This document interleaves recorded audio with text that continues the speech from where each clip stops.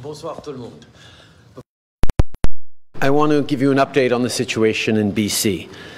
As you know, uh, the folks in British Columbia are going through extremely difficult times right now, and the federal government is working with the provincial government and uh, everyone on the ground to uh, help them as best we can. I asked Minister Blair to convene uh, an incident response, response group meeting yesterday. He convened another one again today. Uh, and they gave an, uh, the ministers gave an update a little earlier today to Canadians this afternoon. first of all, we approved BC's request for help yesterday. The support is moving right now, and we will do more uh, to help people directly. The Canadian Armed Forces on the ground have been helping out, They've already rescued over 300 people. Um, helicopters out of Kamloops and Esquimalt have been uh, deployed. Last night, uh, there were reconnaissance teams uh, assessing the situation. By the end of today, we had 120 soldiers on the ground in Abbotsford uh, with 350 personnel uh, staged in Edmonton ready to deploy as needed. We will continue to work with Indigenous communities to keep people safe. We'll work with the province, with industry, and all other partners uh, to, on logistics, on repairs, on getting goods moving. Nous savons à quel point c'est une situation difficile pour les gens en Colombie-Britannique, mais je peux vous assurer que le gouvernement fédéral euh, reste sur l'enjeu. On est là pour donner toute l'aide nécessaire euh, aussi longtemps que ça durera. Euh, on est en train de se mobiliser aux côtés de la province. This trip to DC has been extremely effective. Uh, during the bilateral meetings I had with the American administration and the North American Leaders Summit, uh, we've really seen that our partnerships uh, are strong and unwavering. On est toujours prêt à continuer à travailler ensemble sur des enjeux importants pour nos citoyens. D'abord, uh, sur la COVID. Our first priority remains putting this pandemic behind us, ensuring we continue to roll out vaccines, uh, including getting as many of our populations vaccinated as possible, uh, moving forward on vaccines uh, for children, moving forward on booster shots for those who need it. Uh, we're going to be continuing to coordinate and work together with our North American partners to ensure that we are not only uh, ending this pandemic here in North America, uh, but also doing our part to end it all around the world. Nous avons des liens étroits uh, entre nos trois pays qui nous permettent de faire face à de grands défis ensemble. Pour rebâtir en mieux, faut apprendre des leçons de cette pandémie et se concentrer sur les gens vulnérables et comment on va relancer nos économies pour une forte croissance économique. Obviously, uh, the, you know, uh, the uh, uh CUSMA uh, free trade deal, the new NAFTA that we signed uh, just a couple of years ago, is a strong pillar of support for trade in our economies and continues to create opportunities for our citizens. We talked about the need for resilient, sustainable supply chains, particularly coming out of this pandemic, and support for small businesses as well. I did have an opportunity to directly raise concerns uh, about the proposed electric vehicle tax credit, uh, as well as discussing the Buy America uh, initiatives and concerns around uh, the Line 5 situation. But we have to remember that people are at the heart of our economy.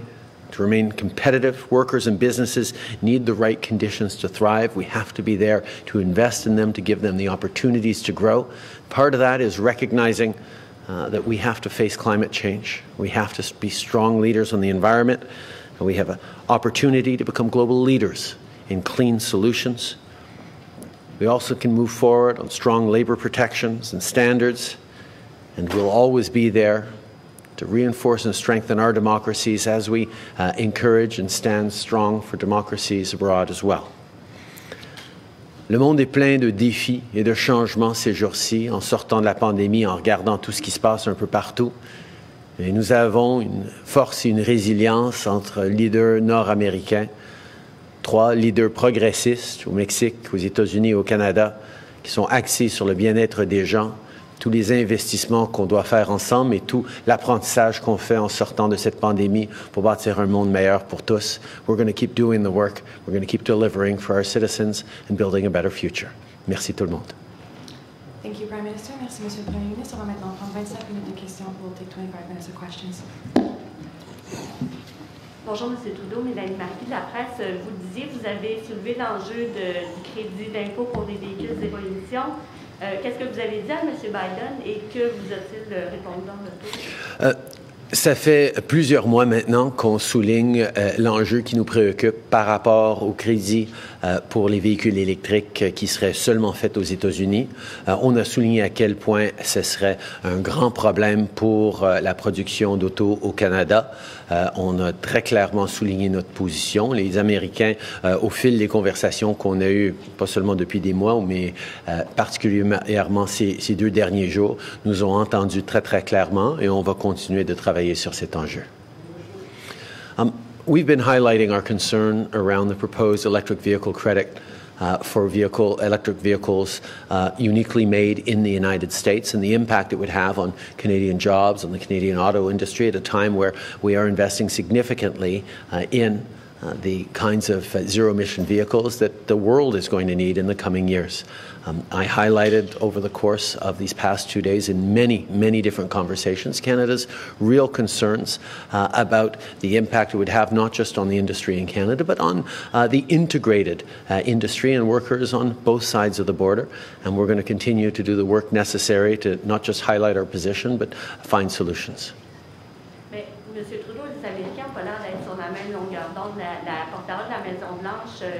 Psaki disait que c'était pas comme ça qu'il voyait quand on lui a demandé si ça contrevenait euh, au nouvel ALENA.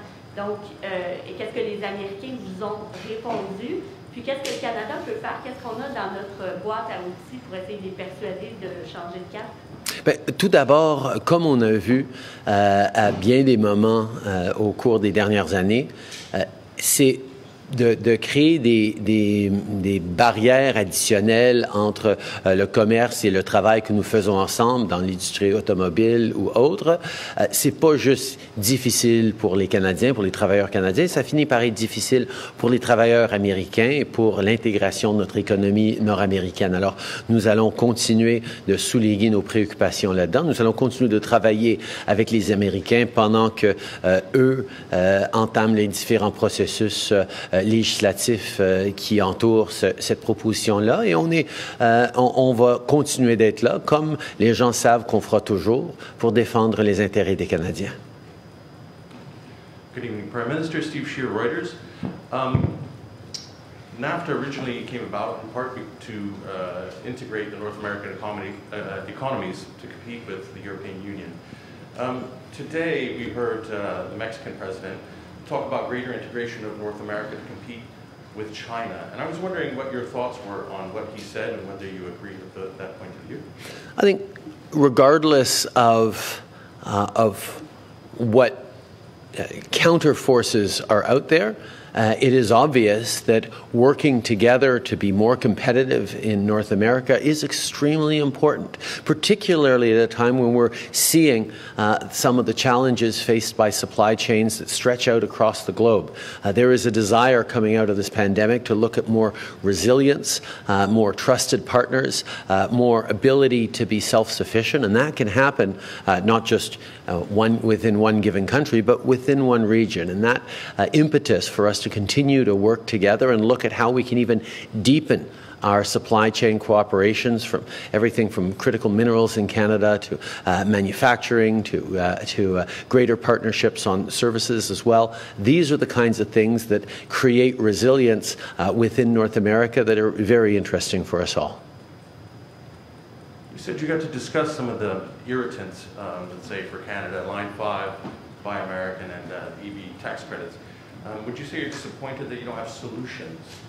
I think we all understand that in a relationship as big and as deep and as uh, all encompassing for so many of us as uh, the relationship between Canada and the United States, there are always uh, going to be challenges coming up. And as we solve some, new ones will arise. And what is most important is that we have strong, direct lines of communication and that we engage with them uh, in constructive ways. And that's exactly what we've done. As we've consistently stood up for Canadian jobs, for Canadian workers, for Canadian industries, it significantly helps that the current integration and the overlaps within our supply chains and the fact that we work so well together already uh, means that it's difficult to find things that are bad for Canada that aren't also, in some ways, difficult or bad for the United States. And those, those are the conversations we continue to have. Monsieur le Premier ministre, Richard Torres de TVA, euh, dans le communiqué conjoint des trois leaders, vous faites il y a une référence au fait que euh, on est confronté à une crise de santé publique liée à la multiplication de la violence armée. Et il y a une, euh, il y a une référence au fait qu'on veut s'attaquer à, la multiplication des armes avec une comprehensive coordinated approach. Qu'est-ce que concrètement ça veut vouloir dire pour pour les Canadiens et pour les Montréalais qui, vivent cette crise-là très concrètement? Ça fait plusieurs années qu'on travaille, euh, qu'on s'assure que nos forces policières euh, travaillent ensemble euh, sur, sur le crime transfrontalier, mais aussi sur les préoccupations que nous avons tous avec les armes à feu. Évidemment, avec cette tragédie la plus récente qu'on a vécue dans mon comté à Montréal, avec le jeune, le jeune Thomas Trudel qui est décédé. Euh, nous, nous, nous, réfléchissons tous à comment nous allons devoir en faire encore plus. C'est pour ça que nous allons euh, continuer de travailler avec euh, le gouvernement du Québec et les municipalités qui veulent bannir les armes à poing pour justement faire ça, en se souvenant aussi que le gouvernement fédéral peut être là pour appuyer la province dans ses services policiers et le travail qu'ils sont en train de faire. Mais pour plus d'informations sur la coordination avec les États-Unis sur la sécurité publique. Euh, je vais me tourner vers notre ministre euh, de la Sécurité publique, euh, Marco Mendicino. Marco? Merci, Premier ministre. Tout d'abord, je veux exprimer mes condoléances à la famille Trudel. C'est une tragédie, c'est inacceptable. Aujourd'hui, euh, ah, excellent. Aujourd'hui, j'avais euh, parlé avec euh, mon homologue euh, américain, le secrétaire Mayorkas, de ce problème-là, et nous avons établi un, dévouement de continuer de, collaboration pour faire les investissements dans les deux côtés de la frontière pour arrêter le problème de le trafic de les armes à feu. C'est un problème, c'est un défi, mais, on va continuer avec un esprit de collaboration. Merci. Premier ministre, je vous ai vu à deux reprises dans le bureau oval avec le président Trump. Expliquez-nous en quoi cette fois-ci discuter, négocier avec le président Biden, c'était différent par ben, rapport à ce que vous avez vu. Ben, euh, tout d'abord, euh, je pense que c'est assez évident que euh, nous sommes euh, alignés sur les valeurs de façon profonde, moi et le président Biden, que ce soit par rapport à la lutte contre les changements climatiques, que ce soit euh, d'être engagé de façon positive dans le monde pour défendre euh, la démocratie et les démocraties, euh, que ce soit au niveau de la croissance pour la classe moyenne, d'être là pour les femmes, les, les minorités. nous avons énormément d'atomes crochus et c'est toujours agréable de pouvoir d'emblée être alignés dans nos approches. Évidemment, il va toujours avoir des points de, de, de différents entre nos deux pays, mais euh, on a la capacité justement de bien travailler ensemble pour, euh, pour les résoudre. David Aiken, Global News. Good evening, Prime Minister. Um, you may have heard that China has uh, apparently kidnapped one of its top tennis stars, a woman who had just accused a top member of the Chinese government of sexual assault. Uh, no one can find her. Um, and that reminded many Canadians that China kidnapped our citizens and still holds some. And then many Canadians might say, why would we fund any athlete to go to the Olympics? Why should we send any Canadian athletes to the Olympics to reward China for their awful behavior?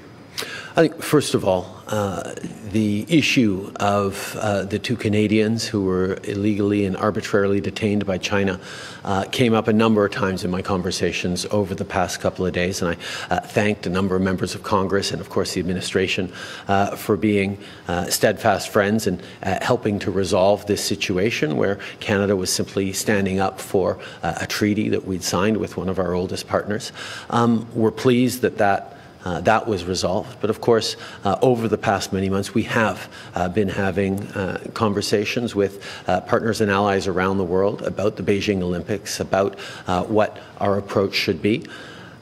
I can highlight, however, that there are an awful lot of athletes in Canada and around the world who have been training and focused on this very, very much. And we're looking for a way to both be able to see them uh, show their capacities and uh, fulfill all the hard work that they've done for many years while uh, continuing to demonstrate our real concerns uh, with uh, the way the Chinese government has behaved. Many athletes, of course, can win world championships, et cetera, and do it another four than the Olympic. Nonetheless, you were sitting beside Mr. Biden today when he was asked about this question, and he was said he would consider maybe a diplomatic boycott. So I wonder if there might be other measures where the Canadian government might say, right, our diplomats are not going to participate in the Beijing Olympics. Did you have a discussion with Mr. Biden about that? And might we expect a boycott of our diplomats? Uh, like I said, we've been engaged with uh, like minded partners around the world over the past uh, many months on this issue. We've, uh, we continue to have those discussions, and uh, as the games approach, I'm sure there will be uh, more information as, the exact, as to the exact posture Canada and indeed the world will take towards this issue. Minister on the electric vehicles, you're talking about wanting to find solutions uh, to this issue in the United States. Can you talk about some of the solutions you're putting forward? You want to see the Americans do to finish this? Well, First of all, as a reminder, there is very much still a legislative process underway uh, that has a number more steps. Uh, there are reconciliation and implementation uh, issues as well. Uh, these are conversations that we have been uh, busy having. I can certainly tell you uh, the Americans are very aware of Canada's position on this and our concerns around it, and quite frankly, the threats it poses to over 50 years of integrated automaking in our two countries uh, that uh, was most recently reaffirmed through the, uh, through the uh, Canada US Mexico Free Trade Agreement, uh, the new NAFTA. What are you looking for, though? Are you looking for Canada to be included in this uh, tax credit? I mean, what specifically do you want?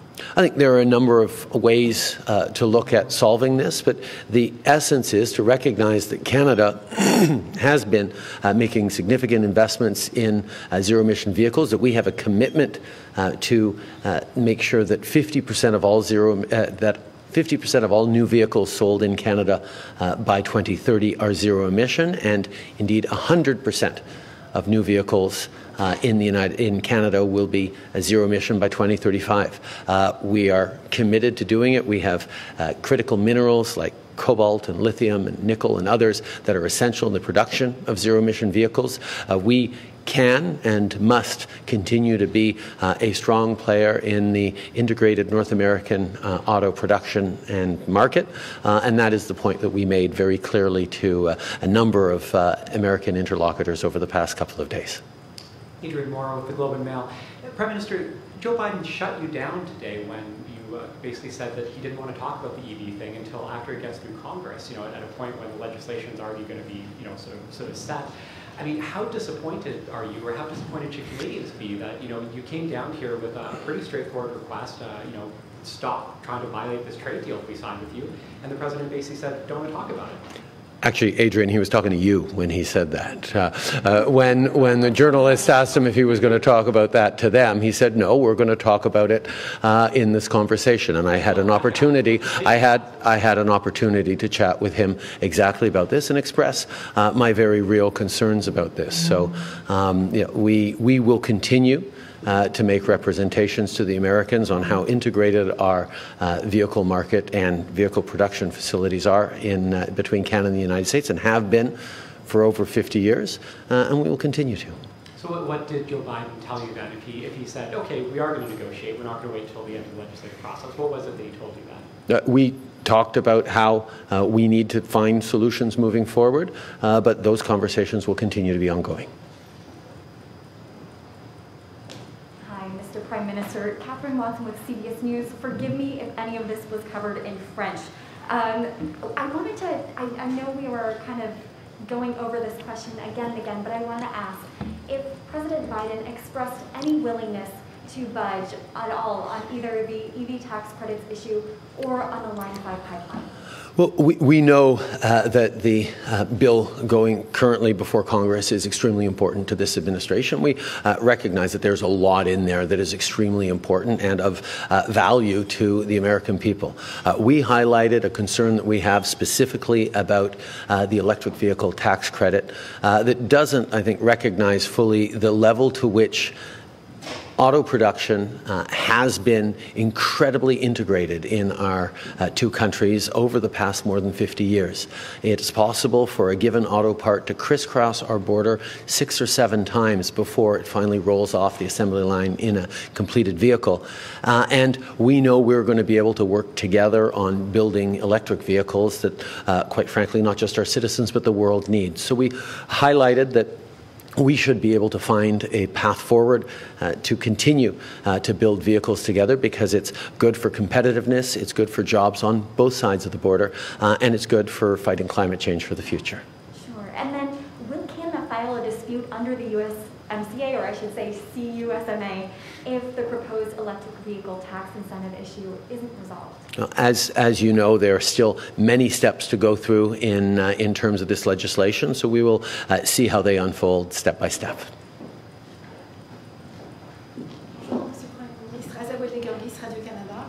Est-ce que vous êtes déçu par le protectionnisme de, du président Joe Biden par rapport à celui de Donald Trump, qui n'est finalement pas si différent Votre sentiment là-dessus Euh, au contraire, nous savons que euh, nous, nous allons toujours devoir euh, travailler main dans la main avec d'autres pays pour créer des opportunités pour nos, travailleurs. Je comprends qu'on est dans une ère présentement aux États-Unis où il y a un sentiment de protectionnisme qui, qui, qui court depuis plusieurs années, mais comme on a euh, toujours pu, souligner depuis des décennies, l'intégration actuelle de nos deux économies, de nos euh, chaînes d'approvisionnement, euh, veut dire que dès qu'il qu y a application de protectionnisme contre le Canada, ça fait mal à des travailleurs et des manufacturiers aux États-Unis en plus euh, qu'au Canada. Et on va continuer de démontrer que cette réalité d'intégration euh, de nos économies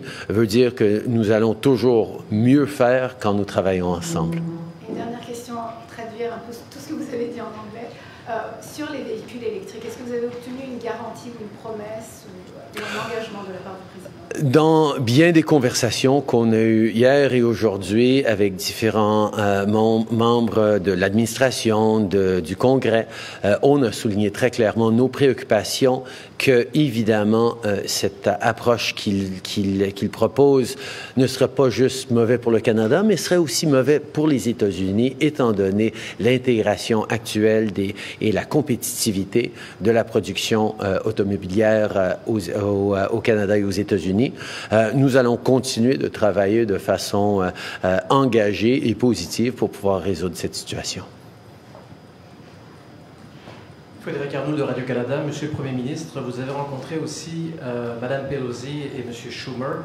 Est-ce que vous avez senti qu'ils étaient plus réceptifs aux préoccupations canadiennes que M. Biden sur l'enjeu, encore une fois, de, des voitures électriques? Évidemment, le Congrès est en train de débattre et, possiblement de voter euh, euh, sur euh, ces mesures actuellement. Alors, je ne vais pas euh, présupposer ce qu'ils pensent ou ce qu'ils pourraient dire ou faire, mais je vais souligner qu'on a eu des conversations extrêmement positives et productives euh, et ils sont très, très au courant euh, des préoccupations du Canada et de l'impact potentiel que ça aura sur les emplois et, euh, et la prospérité aux États-Unis aussi. Et finalement, sur les enjeux canadiens, pendant ce, ce sommet, euh, vous aviez des attentes, des espoirs.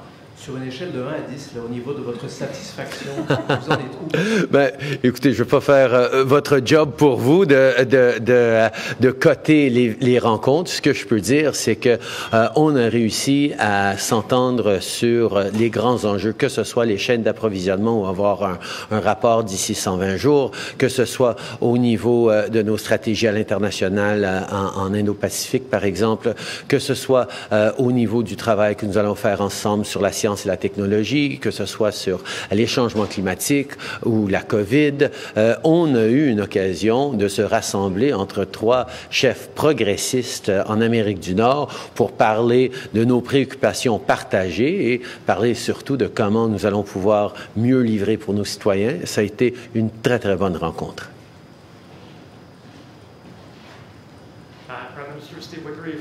News. Uh, you would appear to be empty-handed from this. The Conservatives put out a statement, admittedly before the summit ended, saying that U.S. relations are, are at a nadir uh, despite the renewed uh, uh Three Amigos summits, and I did note at the end of the communique when it came out that there will be another one held next year in Mexico.